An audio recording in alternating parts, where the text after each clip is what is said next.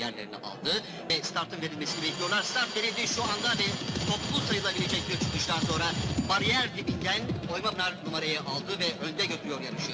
Onun hemen sağrısında Bodrum, onun sağrısında da Bahadır, Erbatur ve Arslan Bey müşterek bir at gibi yarışıyorlar. Gerilerde Neslihan, Külhan Bey, Şahçıhan ve Saffet'i görüyor.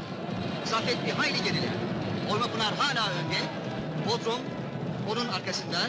Bahadır Bodrum'un sağrısında ve onun arkasında da Erbatur şeklinde yarışıyorlar. Atlar 1200 metreye girilirken Oymapınar hala önde gidiyor. Bahadır şu anda ikinciliğe girdi. Erbatur üçüncü, Arslan Bey dördüncü. Saffet'in hamle yaparak beşinciye girdiğini görüyor. Evet, şu anda Arslan Bey ve Saffet beraber gidiyorlar. Saffet Arslan Bey'i sıyırdı ve Erbatur'la müşterek koşuyorlar. Oymapınar hala önde. Bodrum arkasında, Bahadır üçüncü at olarak yarışıyor. Hadi oğlum, Atlar hadi oyma Pınar, geri kalma oğlum hadi. hala önde.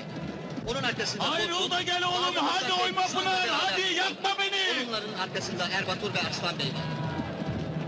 Yarış büyük bir mücadele sürüyor sayın yarışseverler. Bütün servetim ayaklarında. Hadi oğlum. Saffet, Bahadır, Erbatur ve Arslan Bey. Koş be! Koş ulan, yakma beni, geri kalıyorsun, koş ulan, hadi! durumunda. Koş ulan! Hamle yaptı ve aradaki farkı Koş ulan! Ama arkalardan Bodrum ve Saffet'in de hamle yaptığını görüyorum. Evet, Oymapınar ve Bodrum. Hemen arkasında Saffet. Oymapınar mı Saffet mi? Koş be!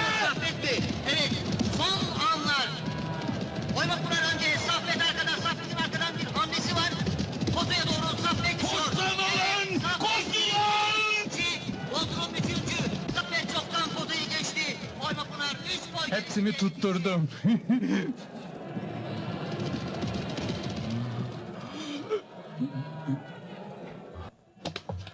Yaktın beni oyma Pınar.